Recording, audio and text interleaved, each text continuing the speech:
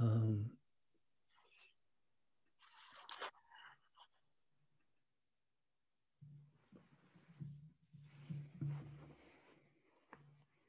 so we, I guess we've all been sort of learning this um, at-home practice, and and I actually think it's really good for people.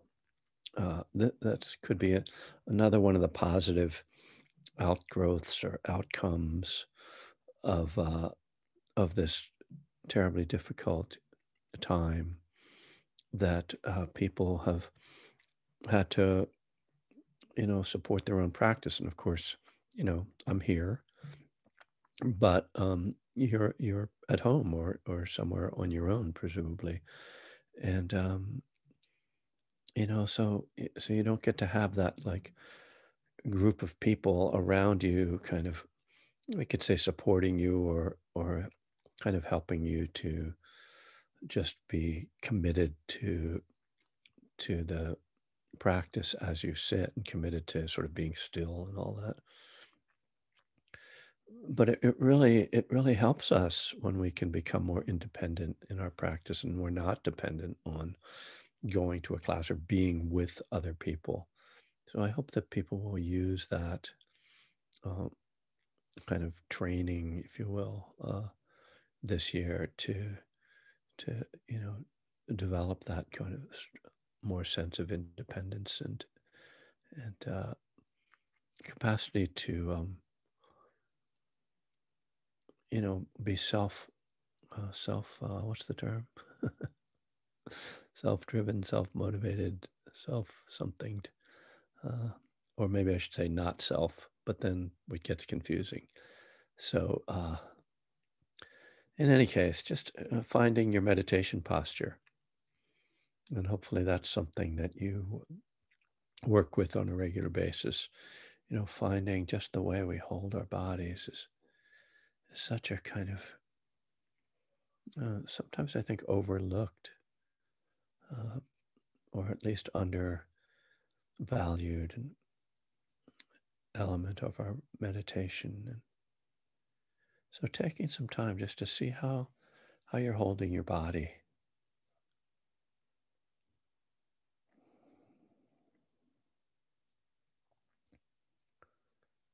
And we want to sit quite still if possible. We want to be upright if possible. Not if it's, you know, physically challenging or, you know, disruptive.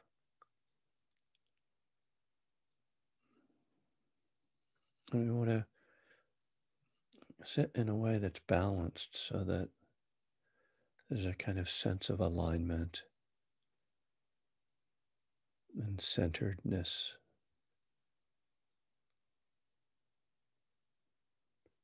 So that you can close your eyes or just lower your gaze. And as you do so, then seeing if your body feels grounded.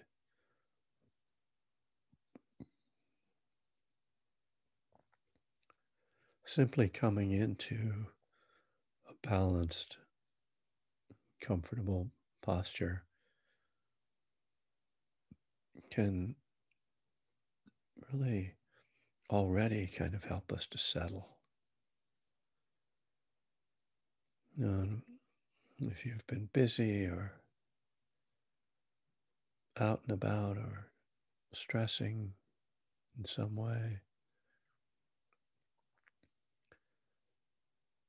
to just have a sense of arriving and of everything settling in the body and in the mind.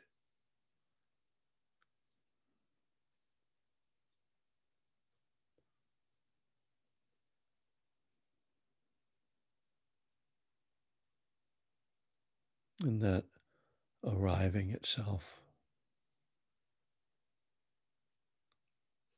can really help us to be more present, to let go of any disturbances and agitation. There's nowhere to go, nothing to accomplish right now.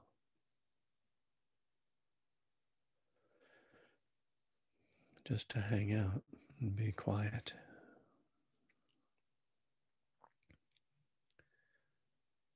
This in itself can be very healing. We don't give ourselves enough quiet time, most of us.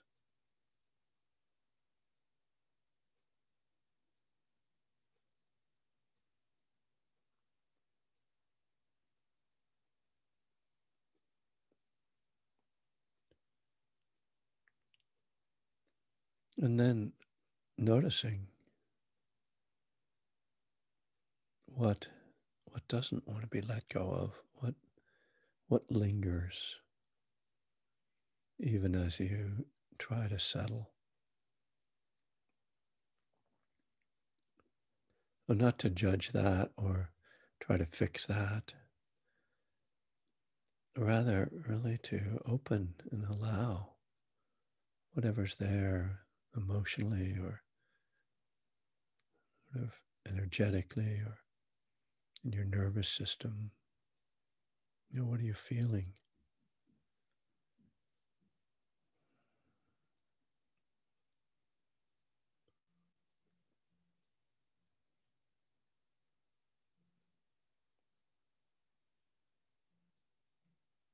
And then you can see if you can connect the breath with that feeling.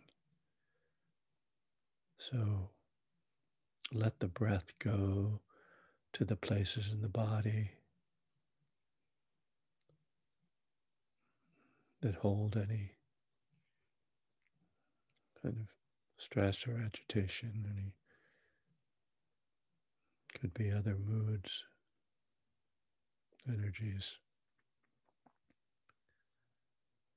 As though the breath the breath kind of opens up the body. It's one of the ways we can use the breath, not to force anything, but just a sense of that inhalation opening the chest and a sense of giving space for whatever's there. Again, not pushing it away, trying to fix it by giving it space, there can be a kind of acceptance that comes, even with the difficult or unpleasant feelings.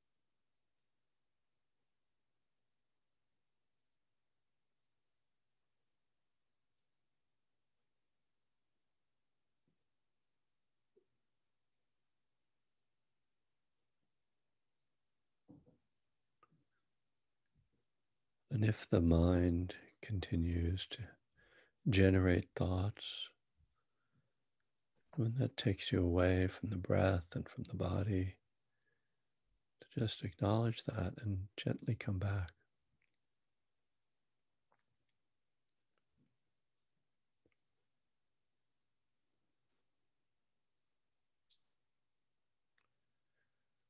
Most of the time, we don't have a lot of control over our thoughts. They seem to have their own sort of life.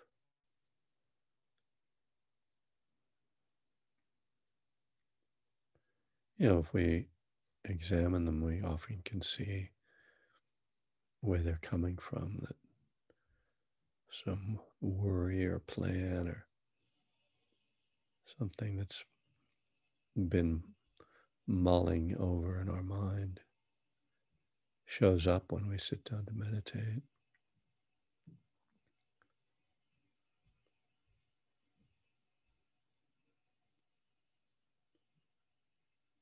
Or perhaps we're even thinking about meditation,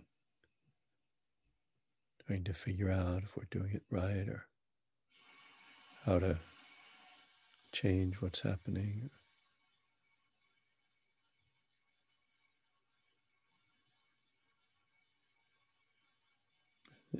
Even these are just, just thoughts to be seen, to be acknowledged.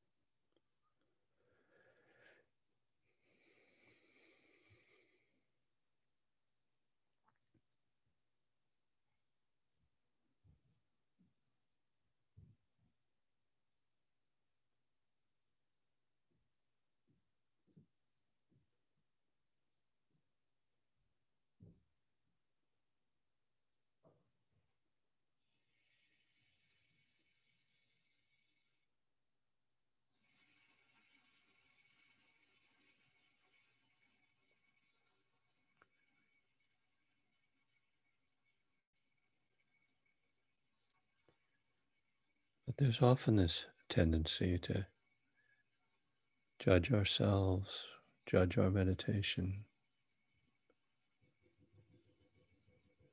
or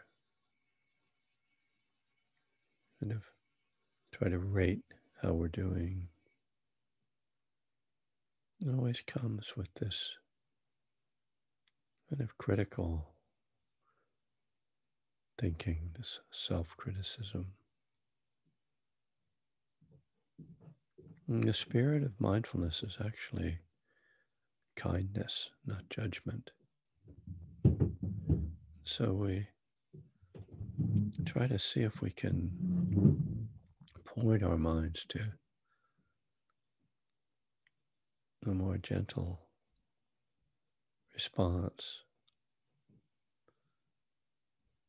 Even when we see those negative thoughts to come up to not to even judge them, but but to see the suffering. And see if you can be kind even to the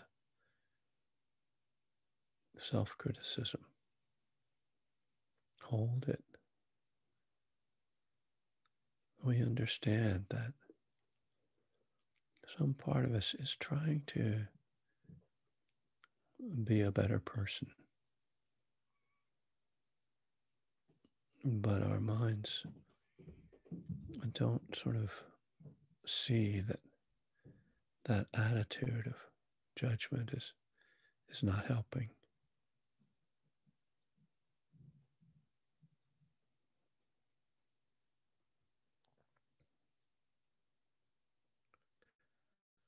So it's not so much that we think about all this, try to think nice thoughts. It's more like a kind of felt, a felt experience, like a softening.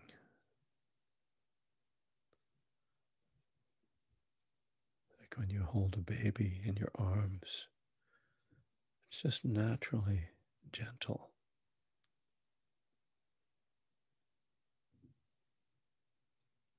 You don't have to think about it.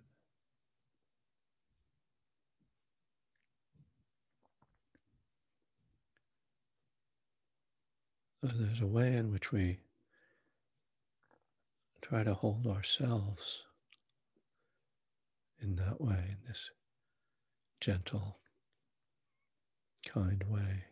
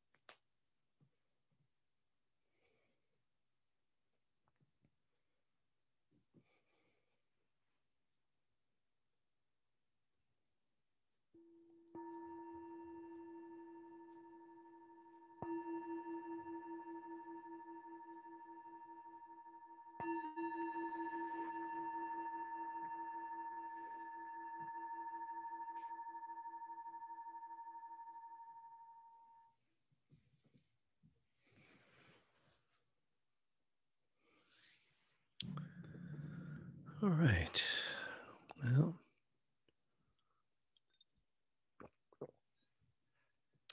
that's just long enough to just start to fall asleep. And then uh, just stayed just stayed awake there. Um, okay, kiddies. Um, as I said, um, step seven, we're in the last section, which for some reason is called humbly humbled. I don't know who came up with some of these things. I, I guess I thought I was being funny or something. I don't know. It's so long ago. It's like a different lifetime when I wrote some of these things. Um, I'm going to bring in um, a sutta uh, uh, tonight, maybe a couple things. But just to start by, um, if you're if you're following along at home, I'm on page 176 of One Breath at a Time. Uh, if there's one thing that will humble anyone, it's sitting down and trying to control the mind, trying to hold our attention to the breath or any other object. There are different responses people have to this experience. One friend signed up for a six week introductory meditation class, went for two weeks, and said, I can't do it. My mind just won't stay still. As far as I know, she never tried meditation again. Other people dig in their heels, putting in long hours of practice, determined to take control. Ultimately, though, even the most determined practitioner will find that effort alone is not enough to still the mind. So I want to, when I read that this morning, when I was thinking about the class, it reminded me of a sutta, and I'm going to get it out right now before I move on because the next section is a little diff- different. So uh, this is just a, a little book called the uh, Samyutta Nikaya or the Connected Discourses of the Buddha. Some uh, 1600 pages of them. Um, and, and uh, you know, I, I remember finding this sutta. Uh, uh, it was not long after I got this book, and it it's such a big you know, book, and I haven't, you know, read, you know, probably a tenth of it. Um, but uh, I was teaching a retreat, and I just, uh, I guess I took it with me to the retreat, and I just was like, well, let me look at the first sutta, and it's just a great sutta. So, and this is, I'll say, this is um, the connected discourses that this book is that what it is is um, there's a lot of sort of shorter discourses that are all on the same same theme or like related in some way. So this first section is what's called the Devata Samyutta, and that that essentially means the discourses where the Buddha is talking to angels. so if you thought that Buddhism was like, you know, didn't have anything magical in it, uh, I mean, I call them angels. They call they call them devas in the suttas, but I think the the kind of Western equivalent is angels. They they're like beings that are, uh, you know, living in a different realm from humans, in a more pleasant realm, but they're still not enlightened. So they come to the Buddha to ask him questions. So it's very common. You'll see in the suttas that, like, sometimes there's even one sutta where the Buddha's like, uh, "Would, would, everybody like sit down because the the devas are getting angry because they can't see me. You're blocking their view from the. It's like down in front, you know." And uh, you know, as as many of the suttas begin, it starts with the phrase "Thus have I heard," which is that was the voice of of Ananda, who was the Buddha's attendant, who uh, who recited many of these after the Buddha died. He sort of memorized them when the Buddha spoke, and uh, and then it tells us where the Buddha was. Uh, he was in a place where he spent many, many uh, of the retreats. Um, it's uh, he was at Savatthi in Jeta's Grove, Anathapindika's Park. There's a long story behind that park, but uh, we'll pass that tonight. So then it says, Then when the night had advanced, a certain devata of stunning beauty, illuminating the entire Jeta's grove, approached the Blessed One. Having approached, he paid homage to the Blessed One, stood to one side, and said to him, How did, dear sir, did you cross the flood? And so this means essentially, how did you become enlightened? What did you do? And the Buddha says, by not halting, friend, and by not straining, I crossed the flood. But how is it, dear sir, that by not halting and by not straining, you crossed the flood? When I came to a standstill, friend, then I sank. But when I struggled, then I got swept away. It is in this way, friend, that by not halting and by not straining, I crossed the flood. So this is a a teaching on right effort. You know, how do you what do you do? How do you how do you meditate? You know, in this case, I mean, it's talking, you know, in lofty terms, how do you become enlightened? But it's it's the same question in our meditation. And as I was describing in this that first paragraph of this section of One Breath at a Time, like some people halt, right? You, you take a class, you feel like you can't do it, so you just quit. So, you know, if, as the Buddha says, when I came to a standstill, when I halted, then I sank, right? Uh, you know, uh, the, so this is the flood or the, you know, the, the river that we're trying to cross you know, and if you don't, if you just fall in the water and don't do anything, you sink to the bottom. So uh, if we make no effort, nothing happens, right? But when I struggled, I got swept away. Like I'm like I'm gonna fight. I'm gonna, you know, it, it, it's like uh, you know trying too hard. Um, you know, and this is a very common experience too, where we're like, okay, I'm really going to meditate. I'm going to get this right. I'm going to pay attention to my breath for every single breath for the next 20 minutes. And then you're so tight that, you know, you just go off and, and the mind gets distracted just by all that energy. So it's, I, I love this teaching because it, it points to that kind of middle way of effort. You know, that and and but it also it you know in a way um you know it's not saying it's very typical too of of the way the buddha taught which is he he tells you what he didn't do right? Like this is like dharma 101 like everything is about letting go. And if I tell you what to do, you're going to become attached to that. Instead, he says, don't halt and don't strain. And essentially what he's saying is like, if you don't halt and you don't strain, see what happens. See what, the, can you, can you find that place of not halting and not straining? As it's a very subtle place. It's a very subtle, energetic place. And, you know, this is why we have to meditate a lot to kind of learn what that is to to find that little space. And it and it's you know in kind of sports talk we could talk about, about being in the flow or being in the zone. And that's what we're kind of trying to find that place that's not straining but but we're not not you know we're not doing nothing or we're not not making effort you know. There's an effort you know, there's a there's a passage in um, Suzuki Roshi's classic uh, Zen Mind Beginner's Mind, Zen Mind Beginner's Mind, that's on right effort, and he says that he he describes right effort, but again in these kind of like hard to pin down terms, and he says it's but then he says it's the secret of practice which I think is right.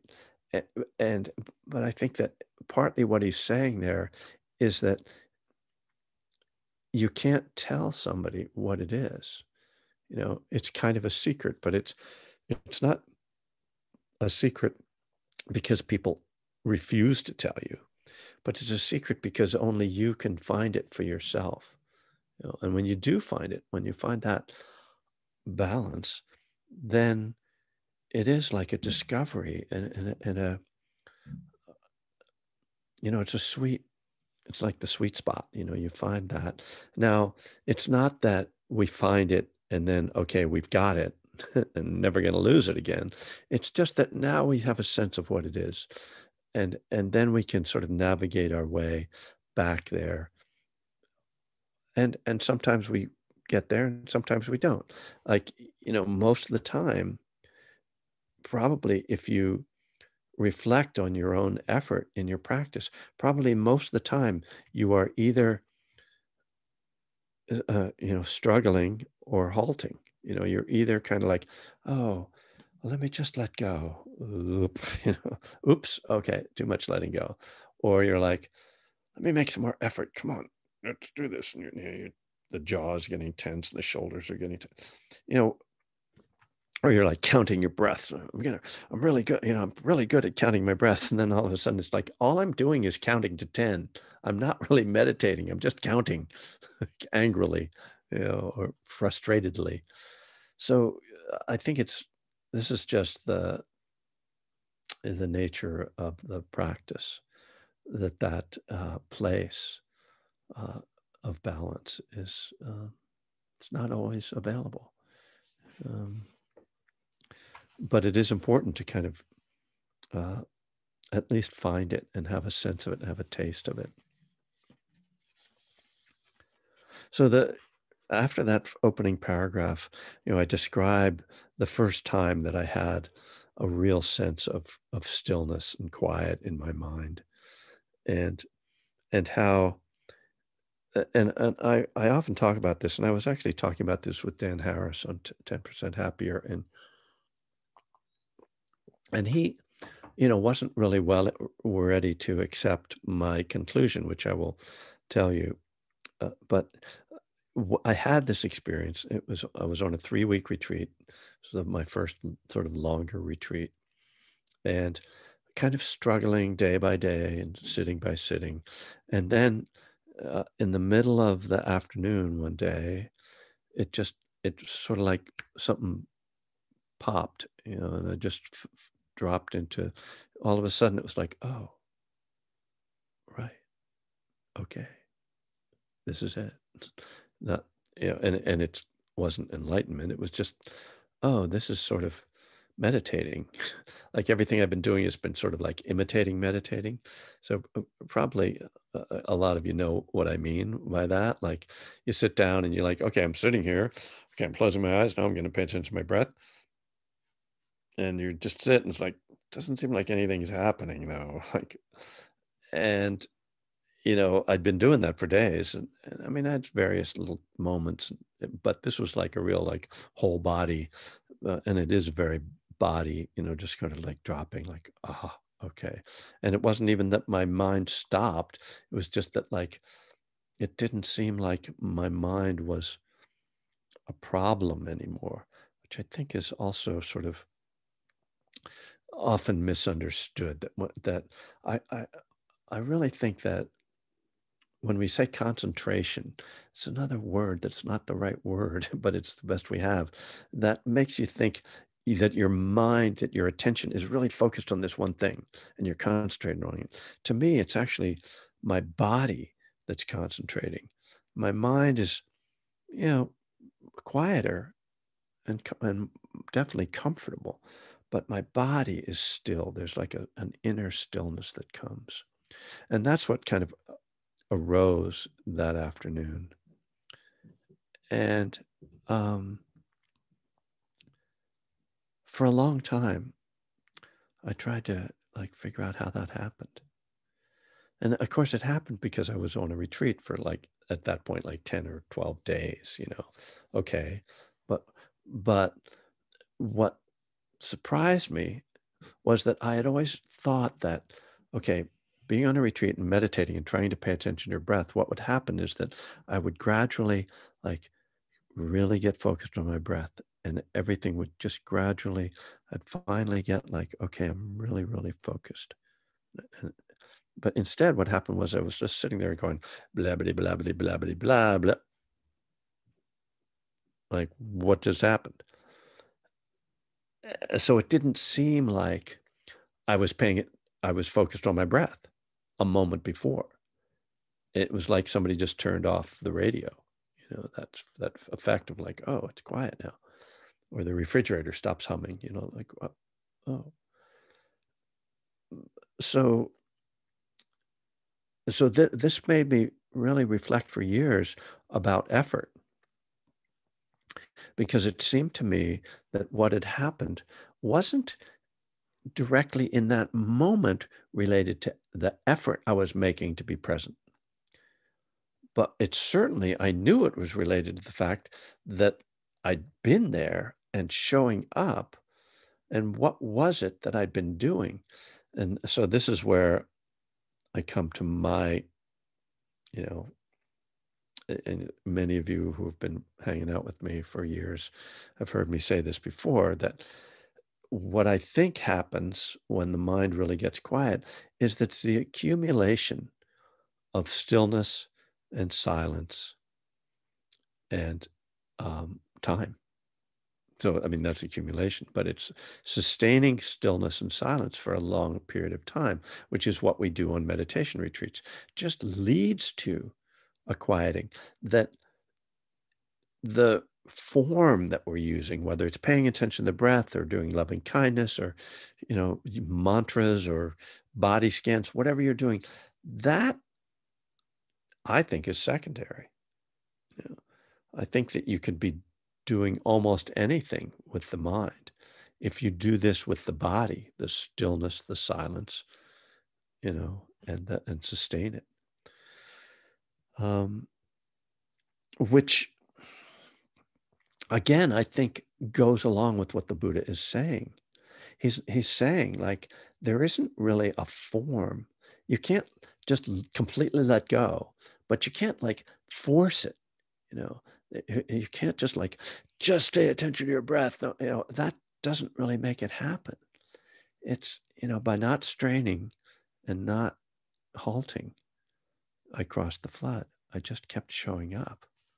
You know, of course, it's that's what recovery is about. You know, and and it's you know the the language of the 12 steps is trying to get at this from a different angle from this theistic angle which is you aren't going to control it you know you don't have control over this you're powerless so you need to turn it over well to me our dharma practice is turning it over to these elements to stillness and silence and time.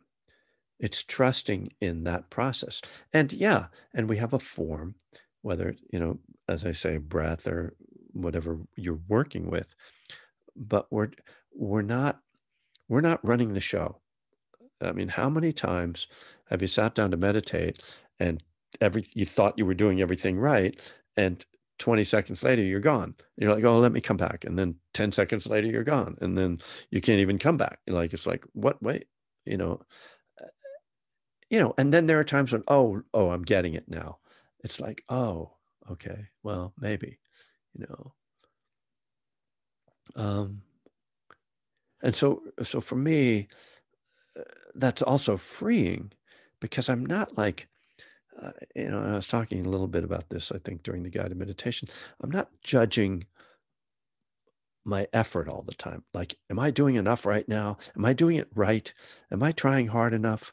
Should I be paying attention to my belly instead of my nostrils? Or, you know, should I be doing more loving? Kind? You know, we get into this like doing mode as though my doing and my will is what's going to make this happen rather than saying, oh, there's a process here, it's showing up, engaging, and then letting go of the results, you know. Um, and that, no matter what, that makes your meditation more pleasant, you know. I, I don't know if it's the, the way to cross the flood or, you know, um, you know, if it's the way to get enlightened, but it's you know, it takes it out of this struggle, you know, the idea that, oh, I'm going to learn to meditate, which sounds like a really nice thing to do. Like, oh, yeah, that's going to be relaxing, you know, that'll be, you know, that'll be good for me, you know, because I'm striving too much or I'm too stressed or whatever. And then you sit down to meditate and you turn it into another project of trying to get it right. And oh, well, uh, uh, I need to read another book, figure out how, you know, what am I doing wrong? You know, oh, uh, that's like, that's wrong. you know, that's like, why do we do that to ourselves? You know, but we do, you know, and maybe it's our culture, but I think it's, I think it's sort of human nature too. Um, so, um,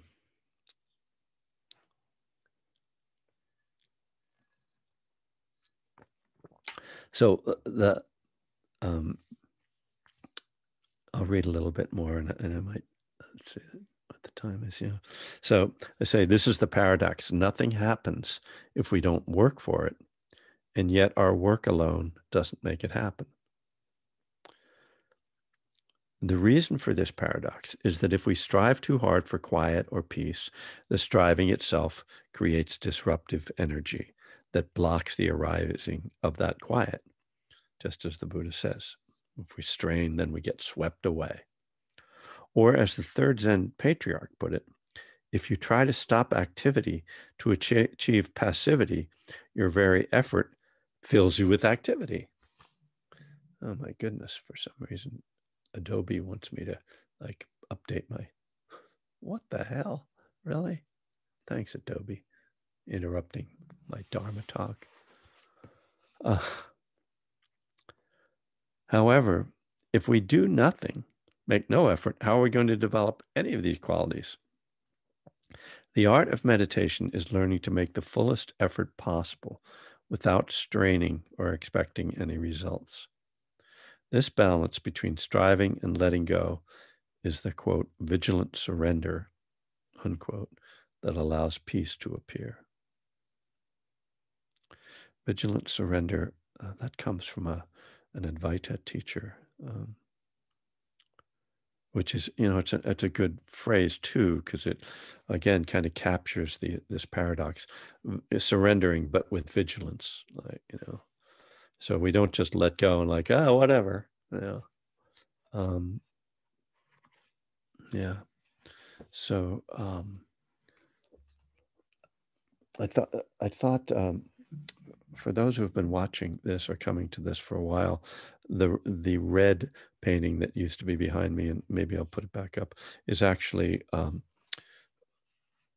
a couple of the paragraphs of the uh, verses of the faith mind that I quoted there from the third Zen patriarch.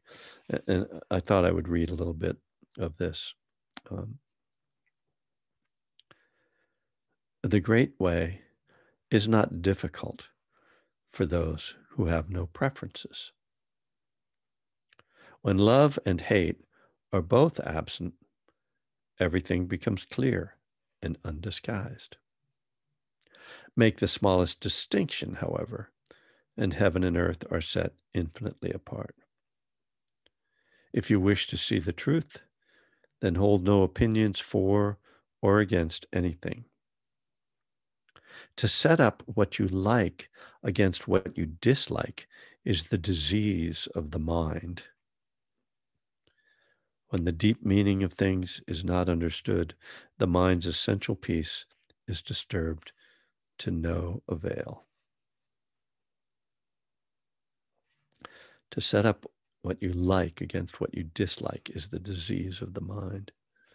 And so again, this is more about the idea of, of a balanced mind state. It's not so much about effort, but you know, the great way is not difficult for those who have no preferences. It's when we have this idea that, oh, I'm supposed to have this experience with meditation, you know, then all of a sudden it becomes difficult, you know.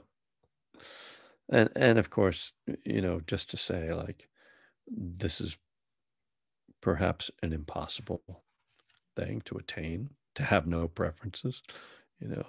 But it's really helpful to just like see that and realize wow you know it's my wanting things to be different from the way they are that's really causing the problems. When love and hate are both absent everything becomes clear and undisguised. Yeah. Which is you know um, the third noble truth you know the truth of suffering the first noble truth second noble truth is the truth of clinging and clinging to you know preferences is what causes suffering. And then when we let go of that clinging when love and hate are both absent everything becomes clear and undisguised. Make the smallest distinction however and heaven and earth are set infinitely apart. Painful. Uh, so um, maybe I'll open it up for any questions or comments. Anybody has anything to say this evening?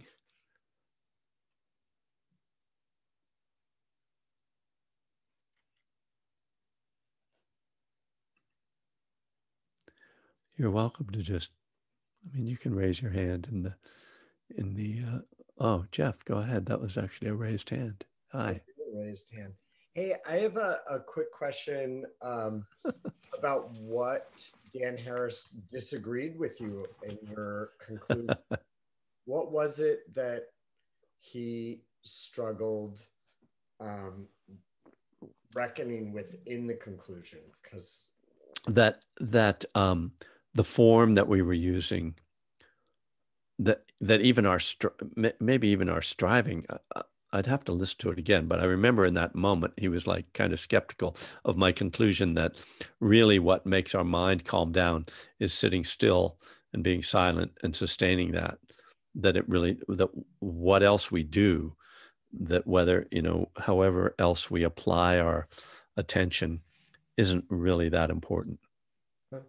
And he was like, oh, wow. which you know it I've never heard anybody else put it that way. I've never heard any other teachers say it. So uh, I'm always a little skeptical when I come up with some idea that nobody else is validating. Uh, but uh, it's fun, you know. It's kind of it's it's uh, uh, you know it's very difficult, of course, to prove. Um, right but but I think it's a question. You know, uh, uh, the, you know, it's it was out of that experience, and then many many more experiences, and and a lot of you, including you, have been on retreats, and have probably had some experiences like that, right? Like, wait a minute, it's quiet now. Where did that come from? Did you ever have that experience? Yeah, for sure. Um, how do you how do you quantify the experience or how do you figure out what thing brought you there? Yeah right and because you want to know right? Wait what, what's the what was the magic potion there that made that happen? Like you know uh, let me see now. What did i have for lunch? You know? And how long was that walk i took after lunch? Because right after that then i had this great meditation. Yeah. And, and we're kind of looking for some kind of uh, you know formula but but especially i think people look for a kind of that an effort or a form of meditation practice that is the one that really works. You know this one works you know like hey and it's again we're, we're very materialistic in that way you know trying to it's like uh, oh my fa- my this is the best meditation app you know? Uh, it's the one that gets me really okay all right great you know? I'm glad that works for you but it's probably going to wear off at some point. Thank you. Yeah thanks thanks for asking. I have to say i don't remember where i heard this. Um, you had mentioned one time um, how sometimes if you just sit and be still, it'll come to you. Um, which I have to do sometimes with kids running all over my house. But um, I've been trying to do that as a practice as well. Is just sit, and sometimes it'll just happen. Yeah. I just wanted to tell you I took um, that seriously, uh-huh. and uh, yeah, it, it kind of works for me when I when I need it. Yeah, yeah. Why make it complicated? You know, and and and again, I I do think that. I mean, I mean, it's great to have techniques are useful you know that there's you know it's great to be like oh i know what i'll do i'll do this and it'll kind of help me to get going but they're not magic you know that's the thing i mean i, I my first meditation practice was tm where you repeat a mantra and it's the mantra is in sanskrit and they never tell you what it means so of course i'm like oh this is like magic and it's going to like do something because they told me like if i if i do it long enough I'll experience cosmic consciousness, whatever the hell that is. But mm. hey, it sounds good to a drug addict. You know, I want to get some of that cosmic consciousness, man. And, you know, it's just a mantra. It's just a, I mean, my first Buddhist teacher said, Oh, you can use anything as a mantra. You could just use Coca Cola. That would be fine. you know, I was like, wait, wait. It's, I thought the words were magic. No, I think Larry David said that too. Oh, really? on an oh. episode. Oh. Yeah. He was like, that's my mantra. You can't take mine. That's my right. personal one. yeah. Yeah. Well, that's the thing. Well, and by the way, like there was a, a magazine article back in the early 80s that revealed that although when you when you paid for your TM mantra and they told you it was specially like designed for you, they were actually assigned by age. So if you were between 21 and 25 or something, they gave you a certain one. If you're 25 to 30, you give it a different one. And they they were not like, you know, oh, Kevin, your personality, you know, I'm reading your tea leaves and your horoscope and you are, here's your mantra. No, it's like, how old are you? Oh yeah, okay, here, take this. Um, did I see Gail had her hand up? Hi, Kevin. I, Hi. I, I really appreciated what you were saying. And the amazing thing is, I kept shaking my head that I'd had that experience. Yet, I'm a novice. I'm a newcomer. Uh-huh. I haven't been meditating that long. Um, I've only been on one relatively long retreat, and that was with you last fall. Mm-hmm. And I've been on several by myself. But I had that experience just sitting right where I am. Yeah. And I remember going to the meeting the next morning, an AA meeting, and I described it as the voices in my head went quiet. Mm-hmm. That, that's just kind of how I, and, and I remember, I mean, this wasn't that long ago, and I was on Zoom, and so I could see everybody in the room, and I could tell that nobody related to what I said. there was like no reaction. Oh God. and um, but I remember I my my therapist who is a who is a Buddhist who sort of in into um, you know this type of meditation he sort of got headed me this direction i remember talking to him the following day saying you know i'm not going to chase it that i had heard i had learned from other experiences that they aren't you don't repeat them i won't yeah. repeat it it'll never quite be the same yeah. and so i don't know what it was but i was just sitting where I am now, just doing one more of, I'm in a 90 day commit to sit program. So I sit every hmm. morning by myself and then I sit with some group every day.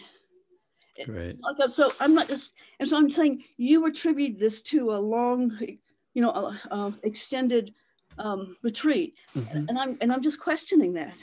Well, oh, oh uh, uh good, good.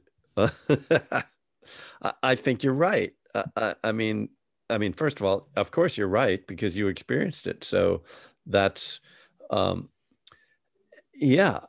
Um, where does it come from? I mean, I think one of the reasons it took me a long time to get there was because I was still an active addict, an alcoholic, and you know my own proclivities are, you know, te- I tend not to get calm easily. But I want to say two things. One, first of all, um, yeah, it's not that predictable. It's just that you increase the likelihood you know it's it's you know when you sustain it you know then you kind of when you sustain the stillness and quiet you increase the likelihood of it arising right the but it's true that we can always we can always have those moments because there it's just it's just our mind you know and our mind is capable of going there so there's no reason it can't go there just more easily. And it's really, I really appreciate that you had the wisdom to say, I'm not going to try to like recreate that or like go back and get that. And I would suggest that you, when you have, uh, now I'm going to contradict myself a little bit. When you do have an experience like that, to see if you can not like try to recreate it, but kind of see if you can feel like kind of what the trigger, if there's an internal trigger, like there, and it, it's maybe it's the opposite of a trigger. I don't know what that would be, but the release, the internal kind of like, oh, oh, I let go of that, you know, and eh, eh, and you can kind of, eh, and you can kind of glance inside yourself and see if you know when you're meditating, kind of go, oh, let me see if that's available right now. And you kind of turn toward it. You don't grasp it. You don't try to make it happen, but you kind of go, oh, let me just breathe and and it might open and it, you might kind of uh, you, you might find that you develop like that sometimes you can kind of go there and it might not but as long as you're not grasping it won't be a problem right if it's like oh, I want to make this happen rather, but if you just kind of go, oh, let me see if I can kind of just drop in there. I did think about, you know, was there, you know, what was the circumstances? And it, it, um, you know, I don't know that we're even talking about the same thing, but I think maybe, but yeah. I, I can't, I can't say that, you know, that we are, but, um, it was that, it was one of those cases where I had, I had stopped struggling totally mm-hmm. what you were saying today. Yeah. I, I you know, because I'm I'm a newcomer, so it's a constant struggle and I can't do it perfect, you know. But I remember your line in, in one of your first books, it's something to the effect of, you know, that I, it, my, my mind's too smart or whatever. And then you, mm-hmm. and the line in your book was, which, what, what does that make me? Too dumb? right you know right. i don't know which book that was yeah that's burning desire right yeah, it really struck me that, yeah. uh, that when you said that so not it not in other words don't judge myself.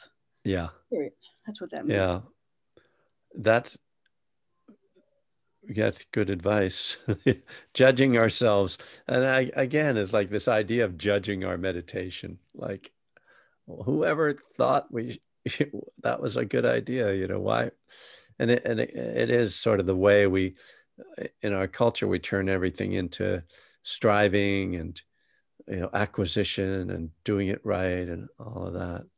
But uh you know it sounds like you're you know you found a nice some nice uh just ways of being in your practice and it's it's only happened once. Well yeah but you know that's you know that's uh, the those neural pathways are kind of are there it's there you know you can tap into it so yeah. Thank you. Thank you. Um, i get a lot of value out of knowing that because i have had that experience it exists. Right. Period. Uh, uh, that's that's a really good point gail uh, um, because that reinforces our faith and our confidence that this this works and and we understand it's not always going to happen but that we we do have that potential and, and certainly you know i that very much sustains my own practice um, and you know and it, there's a way i mean i you know in which we can you know, we can take three breaths and just a quiet moment. You know what I mean? Just like, you know, in the middle of the day, just stop. And it's not that like you know, I'm going to have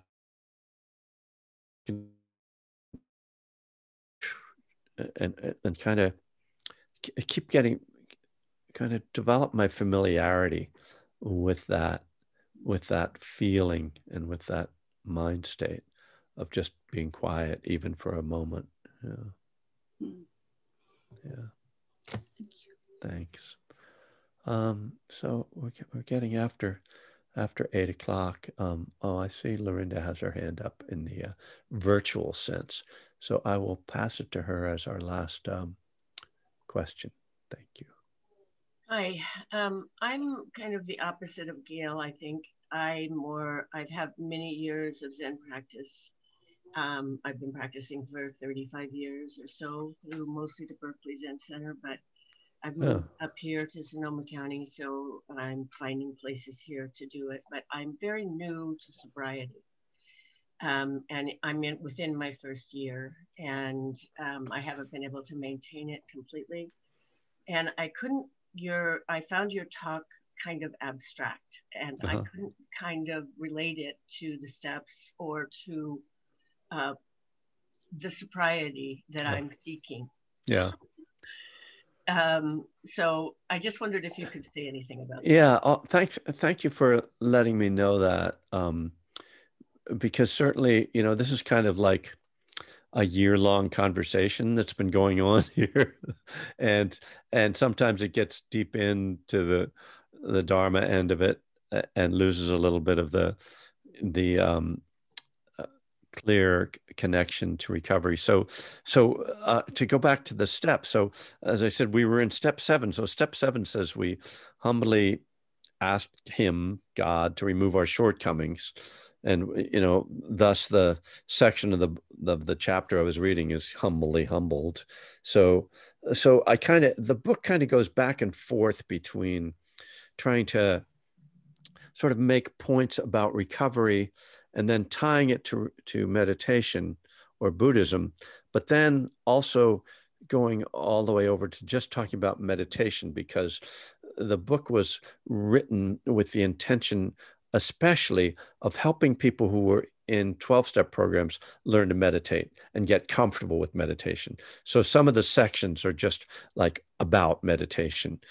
Um, but the point about effort is very much uh, like a recovery concept that you know if we try to suppress our craving if we you know if we try to force you know i'm not going to drink i'm not going to drink you know kind of it just creates more internal tension that at some point just snaps and then we go off you know and and so that so that the not straining but not standing still is very much kind of that balance of like trying to really stay with it one day at a time showing up doing the best we can letting go and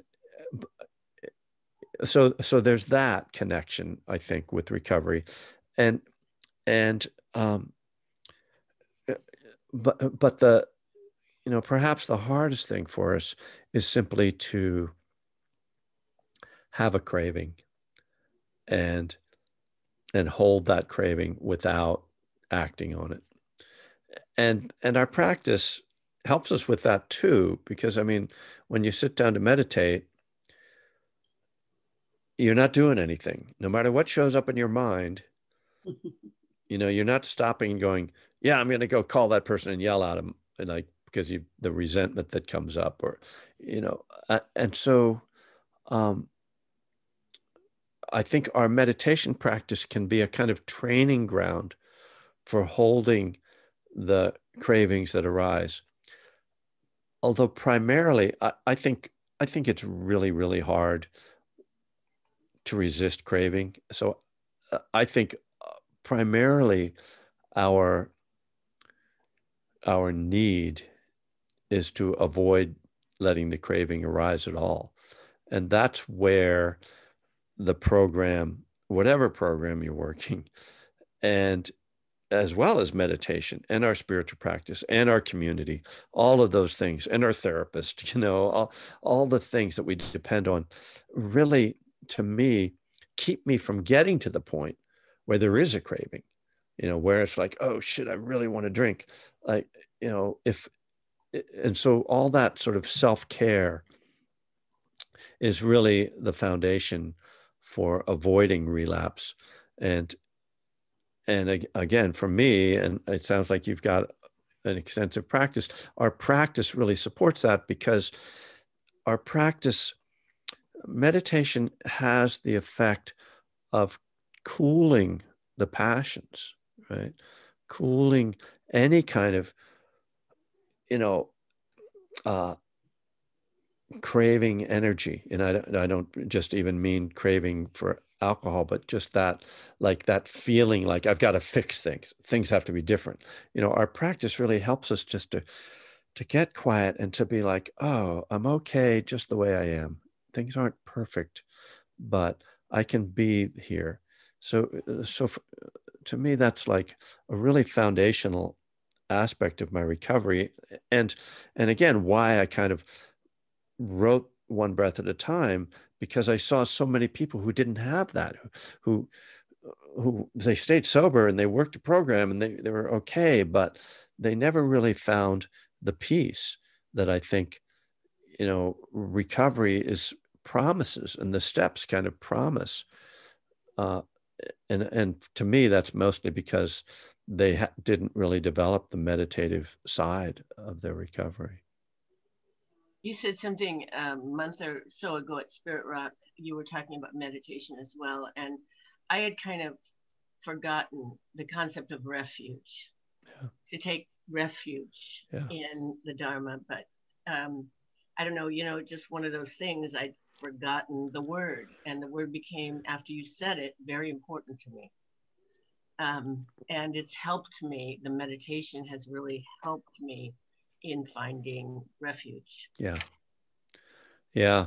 From all me, the, tumult, the tumultuous year and what's yeah. in my own, own brain and the news and the whole, yeah. you know? yeah. I mean, the, the idea of refuge to me, refuge in Buddha, Dharma, and Sangha, is that I remember what's really important and I remember what's really true. You know, and, and I guess I remember how to take care of myself, you know, and to do that. Um, and and as you say, that it gets me out of all that, like st- all the input as well as my own output into the into that, you know, and just like, oh, what's really what's really important? Like I'm worrying about this and I'm upset about that and I'm angry about. Oh, well, what really matters to me? Well, what really matters to me is kindness, awareness, you know, um, peace, love, you know. And so uh, before I go, I want to mention somebody asked about the uh, book I was reading, uh, the Sutta book, and that is the, I'm going to put it in the uh, chat. It's the Samyutta Nikaya, which means the connected discourses. So um, it it takes some work uh, to uh, to understand it, but yeah, that's for you, Cheryl. so um, thank you all for hanging out on a Friday night. Don't drink or use no matter what. Meditate and uh, I'll see you all.